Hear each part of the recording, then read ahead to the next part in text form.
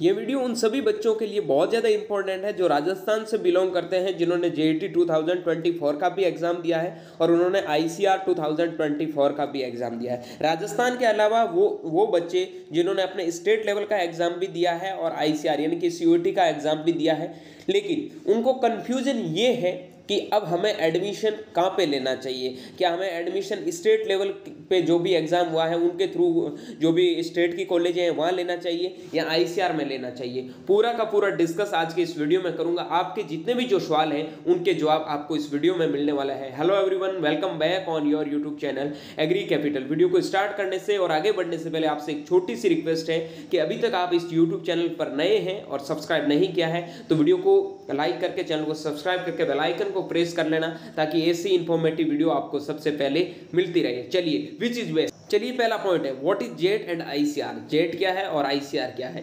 या फिर इसकी जगह जेट की जगह आप अपने स्टेट का एग्ज़ाम मान सकते हैं, चाहे यूपी के टेट हो गया एमपी के लिए एमपी पीएटी हो गया जीबीपीयूटी हो गया, उत्तराखंड के लिए, हरियाणा के बच्चों के लिए एच हो गया, जिस, जहाँ पे भी आप बिलोंग करते हैं, जो भी अपने स्टेट लेवल का एग्ज़ाम हो गया, वो रख लो, दूसरी तरफ़ आईसीआर रख लो, ठीक है? सबका मैं डिस्कस करके पूरा निचोड़ आपको निकाल के दे दूँगा। देखो, मैं बता देता हूँ कि जो भी जेट या फिर स्टेट लेवल का एग्ज़ाम होता है, वो स्टेट के द्वारा कंडक्ट किया जाता है करवाया जाता है और जितने भी जो आपके स्टेट में गवर्नमेंट यूनिवर्सिटी और private college, government college, semi government college जितने भी जो होते हैं, उनमें एडमिशन एग्रीकल्चर के एंट्रेंस के लिए आपका जो एग्ज़ाम कंडक्ट करवाया जाता है उसके थ्रू आपको इन कॉलेजों में डिफरेंट प्रकार के कॉलेजों में एडमिशन मिलता है। ICAR Indian council of agriculture research पहले खुद का एग्ज़ाम कंडक्ट होता था, लेकिन लास्ट दो सालों से सी के साथ में मर्ज हो चुका है। सी के एग्ज़ाम देने के बाद में आईसीआर पर्सनल अपना काउंसलिंग करवाता है और आईसीआर जो मतलब जितनी भी जो एग्रीकल्चर की कॉलेजें हैं, उनका एक ऑथोरिटी उनकी एक बॉडी कह सकते हैं।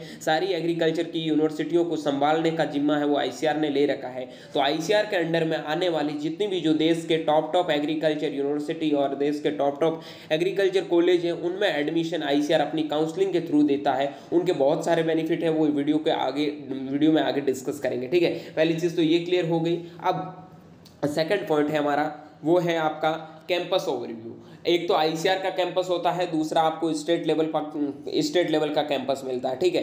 तो देखो स्टेट लेवल की वो कॉलेज है जिनमें आईसीआर से एडमिशन मिलता है, उनका कॉलेज तो सेम आईसीआर के जैसा ही होगा, ठीक है? वही होगा। और आईसीआर की जो दूसरी कॉलेज जैसे सेंट्रल यूनिवर्सिटी हो गई डिम्ड यूनिवर्सिटी हो गई, ठीक है? या फिर दूसरे स्टेट की कॉलेज हैं जो पे आप नहीं देख सकते हैं। मान लो आप राजस्थान के आपने यूपी के कोई टॉप कॉलेज नहीं देखे हैं। ऐसा नहीं कि आपको किसी भी कॉलेज में एडमिशन मिल जाता, ऐसा स्टेट लेवल के एग्ज़ाम में आपको बहुत लो लो कॉलेजों में एडमिशन मिलता है, ठीक है?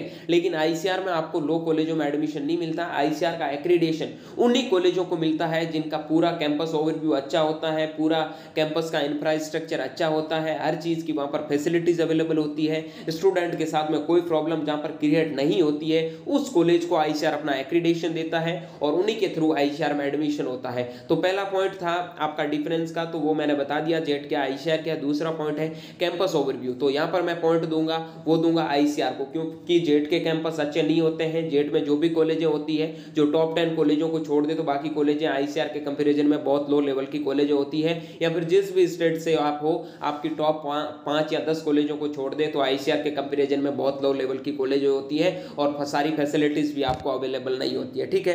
अब हम बात करते हैं डाइवर्सिटी ऑफ़ पीपल देखो, लोगों के बीच में डाइवर्सिटी देखोगे तो अपने आप में खुद में कॉन्फिडेंस आएगा। सपोज़ दैट आप राजस्थान से हैं, आपको इंग्लिश में बहुत ज़्यादा प्रॉब्लम है, आप चले गए, सीधा तमिलनाडु साइड या फिर बेंगलोर साइड ठीक है?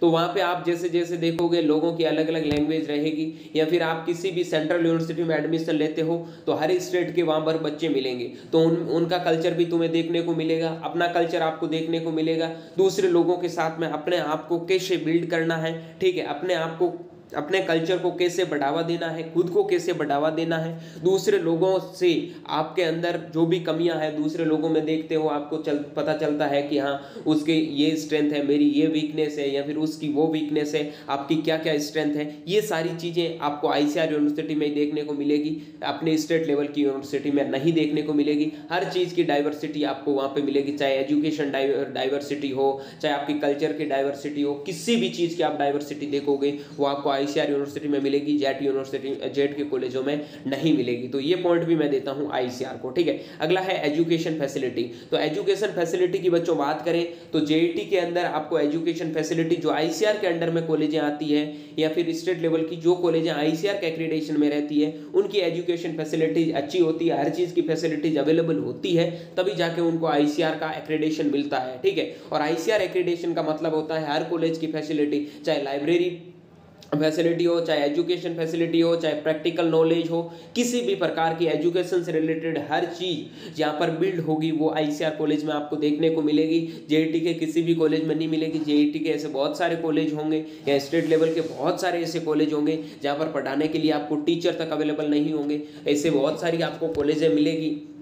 जहाँ पर आपके प्रैक्टिकल के नाम पे कुछ भी नहीं होगा, पूरा फर्जीवाड़ा चलेगा, जहाँ पे आपको डिग्री एक कागज़ के रूप में मिलेगी, ऐसी भी बहुत सारी कॉलेजें होगी। तो ये एजुकेशन फैसिलिटीज़ का जो पॉइंट है, वो भी मैं देता हूँ आईसीआर को, ठीक है? अगला है, अगर आपको आसानी से एडमिशन लेना है, देश के टॉप यूनिवर्सिटी में पढ़ने का सपना देख रहे हैं और जे प्लस आईसीआर दोनों का एग्ज़ाम दिए हैं, बहुत सारे कन्फ्यूज़न चल रहे हैं, कहाँ एडमिशन लेना है तो उसके लिए हमने पेड प्रोग्राम ज्वाइन कर दिया है। अगर आप जेड और आईसीआर दोनों का साथ में ज्वाइन करते हो तो सात सौ फ़ीस है, ठीक है? ये ओनली राजस्थान के स्टूडेंट के लिए है। बाकी अदर स्टेट के लिए स्टूडेंट जो आई में एडमिशन लेना चाहते हैं, उनके लिए चार सौ निन्यानवे रुपये फ़ीस रखा है।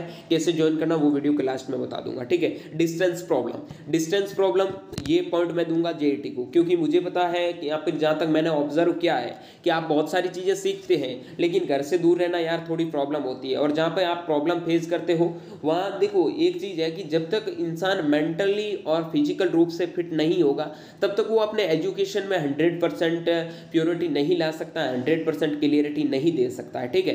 तो ये डिस्टेंस प्रॉब्लम मैं मानता हूँ, लेकिन आपको एक चीज़ पता होगा कि स्टूडेंट के जो लक्षण माने जाते हैं करेक्टर ऑफ़ स्टूडेंट तो उनमें माना जाता है कि स्टूडेंट को घर से दूर रहना चाहिए।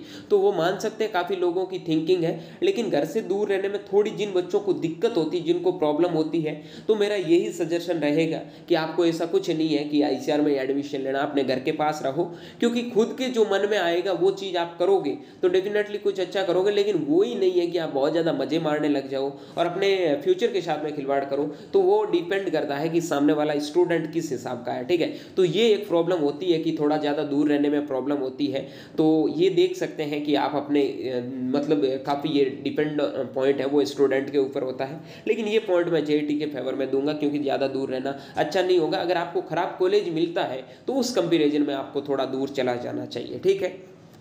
अगला है कम्युनिकेशन प्रॉब्लम बहुत सारे बच्चे ऐसे बोलते हैं कि, सर, हम राजस्थान से हैं, हम बेंगलोर चले जाएँगे या फिर तमिलनाडु चले जाएँगे। तो हमें इंग्लिश नहीं आती है। तो अगर आपका कम्युनिकेशन स्किल है, इसको बिल्ड करना है अच्छा पढ़ना है अपने कम्युनिकेशन स्किल को लोगों के साथ में बढ़ाना है तो उसके लिए अपने स्टेट को छोड़ देना चाहिए या फिर अपने घर के आसपास की जगह है, वहाँ छोड़ देना चाहिए, थोड़ा दूर जाना चाहिए, ताकि आपको पता चलता है कि वहाँ की लैंग्वेज क्या है। मान लो आप राजस्थान के हैं, आप तमिलनाडु में जाओगे तो वहाँ आप तमिल सीखोगे, वहाँ आप इंग्लिश सीखोगे, ठीक है, वहाँ आपको हिंदी ऑलरेडी आती है, अपनी लोकल लैंग्वेज आती है। चार पाँच लैंग्वेज का आपके पास में नॉलेज होगा। अगर आप राजस्थान में रहोगे तो आपको कुछ नहीं होगा, बस एक लोकल लोकल लैंग्वेज का ही नॉलेज होगा। तो ये चीज़ आपके बेनिफिट में है।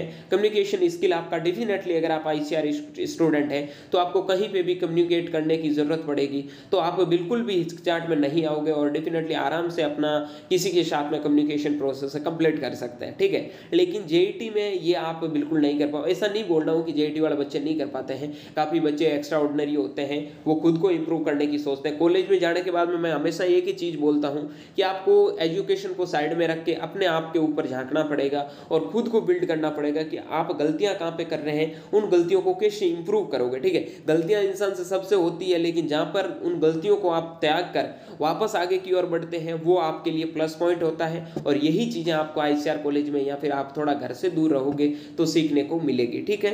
अब मैं बात करता हूँ हार्डवर्क इन कॉलेज तो जेटी में रहोगे, जिन बच्चों को लग रहा है कि मुझे कॉलेज लाइफ में मज़े करने हैं, मुझे जहाँ पे भी रहना, वहाँ मुझे हरियाली में रहना, मुझे उसके साथ में मज़े मारने मैंने बहुत सारी पढ़ाई कर ली है, मैं गर्लफ्रेंड बॉयफ्रेंड बनाऊँगा, जो भी मुझे करना है, वो अच्छे से मैं कॉलेज में इंजॉय करूँगा, उनके लिए क्या करना? तो उनके लिए देखो, एक घर वालों के आगे तो नहीं रहना, वरना घर वाले आते पीछे जाते करते देख लेते हैं। तो थोड़ा सा दूर रह लो तो ठीक है। और जहाँ मज़े मारने की बात करें तो जेआईटी में मज़े, भाई आई में मज़े हैं, लेकिन उतने मज़े नहीं, क्योंकि हार्डवर्क बहुत ज़्यादा होता है, आपको काम करना पड़ता है, क्योंकि यार जहाँ पर पढ़ाई होगी, वहाँ पर टीचर पढ़ाएँगे, वो तो आपको काम देंगे, ठीक है? और ऐसी कॉलेज जहाँ पर टीचर ही नहीं होगी, वहाँ पर मज़े मारो, क्या दिक्कत है? ठीक है, जिसके साथ घूमना घूमना उसके साथ घूमो, ना कोई क्लास होता, ना कुछ होता तो मज़े मारने हैं।